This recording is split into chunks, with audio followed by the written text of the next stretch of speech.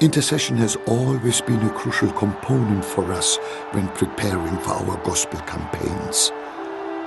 I learned the importance of intercession as a young man, and I learned it in a way that I could not easily forget.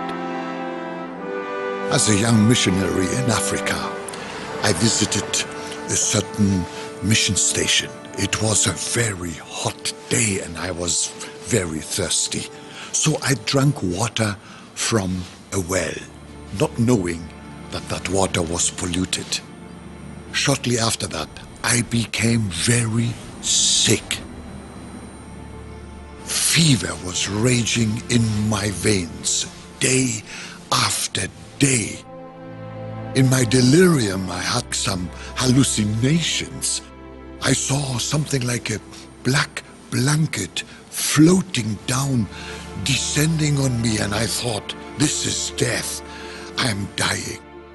But suddenly, I heard a voice, somebody praying for me. It was the voice of a lady in my father's church, 8,000 kilometers away, there in North Germany.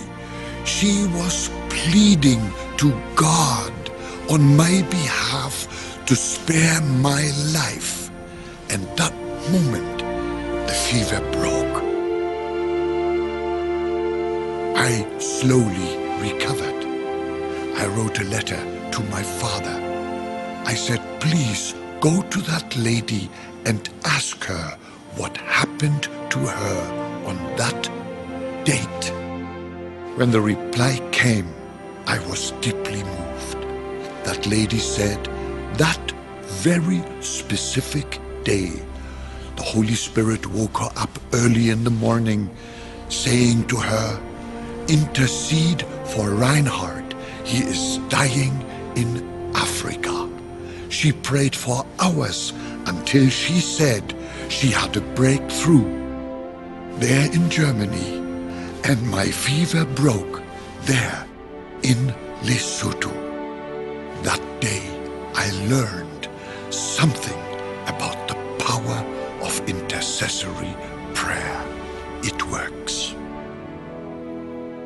Let me give you four points on the requirements of an intercessor.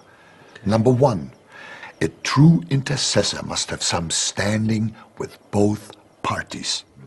As I have already said, we know people, but we must also know God. Abraham is a good example of someone who knew God. The cities of Sodom and Gomorrah had become morally perverted, so God proposed to remove them. He said, Shall I hide from Abraham what I am doing? When Abraham learned that these two cities were listed for destruction, he took up their case with God and went a long way along the road to saving them. He was qualified because he knew God and the cities. He was called the friend of God. Why? James says, Abraham believed God, and it was accounted to him for righteousness. Yes. And he was called a friend of God. Believers, they are to be his intercessors. That is what Scripture means by a friend. Jesus said, No longer do I call you servants but I have called you friends. For all things that I have heard from my Father, I have made known to you. A friend intercessor will have the mind of the Lord, who tells us nothing for mere interest, but for us to pray about it. Number two, a true intercessor is moved by feelings of concern. The story in Exodus 32 is a strange episode, but shows us the heart of a true intercessor. Moses was angry over Israel's idolatry. Mm. Israel had escaped from Egypt after a fantastic display of omnipotence that would make God seem physically near. Mm-hmm. Yeah. Above them towered Mount Sinai with its cloud of God's glory concealing Moses, who had ascended to speak with God. The people thought he had deserted them. Their simple minds were soaked in the superstitions of Egypt and its gods, and so they made a golden calf to lead them back to the house of bondage. The Lord said he would put an end to them because of this appalling lapse and begin a new nation through Moses. Moses' first reaction was to send swordsmen to rid Israel of the ringleaders.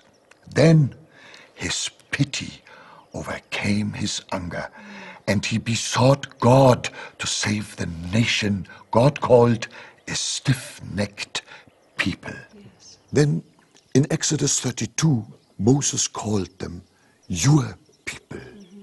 Moses pleaded, Oh, these people have committed a great sin.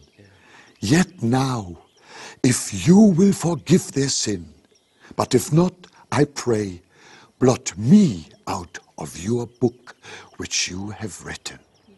Here words failed him. Such was the force of his compassionate outburst. Mm-hmm. He offered to die as an atonement for Israel's sin. His offer was turned down because only the Son of God could atone for sin. But this is still an example of true intercession. This proposal was unsolicited. Moses had not been pushed into it. He had brought this rabble of tribes to nationhood like a woman bringing a child into the world.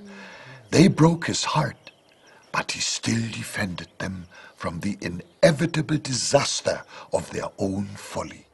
Yes. We pray for Christian revival. Why? To see the church full, pay the bills, ease the labors of evangelism as a religious duty.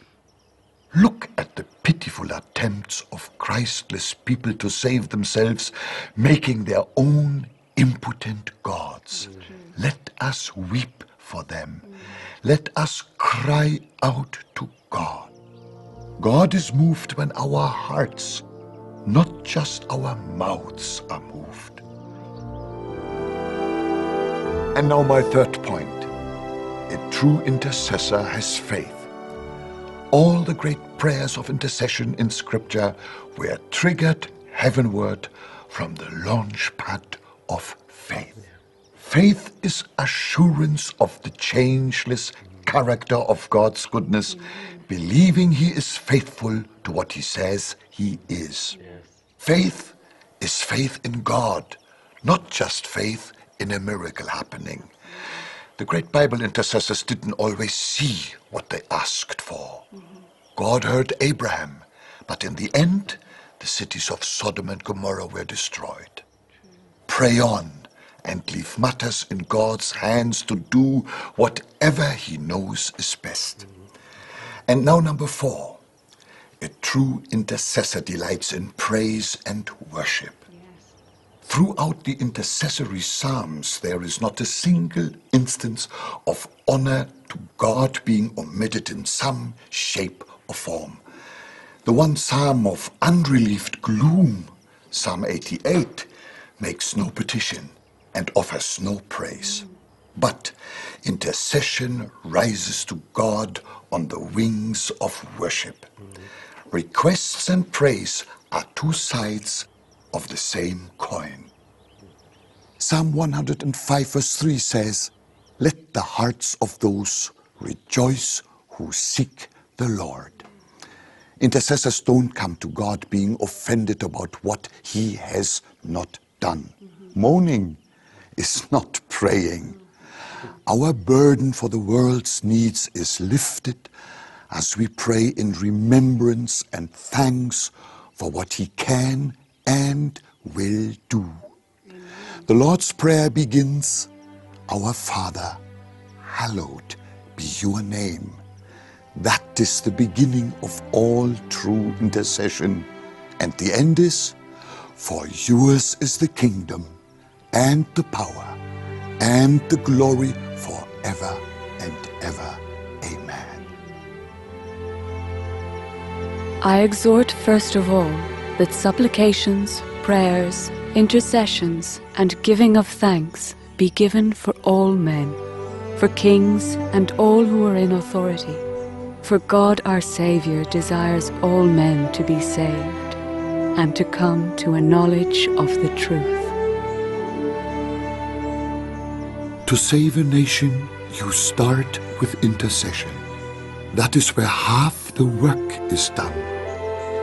Someone else may stand in the limelight preaching the gospel while you are in the back room supporting him or her with prayer. But those are the kind of people that God notices. Pray on.